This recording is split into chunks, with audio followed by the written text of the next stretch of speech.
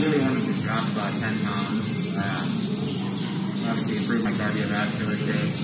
I played tennis as well, and I was finding my tennis game was sucking, so I wanted to get better uh, cardiovascular state. And uh, just kind of figure out a big part of it for me was uh, figuring out, you know, getting in a more consistent diet, you know, better eating habits, which is kind of a, a major part of it. I didn't lose that much weight, but I lost something like 6% body fat.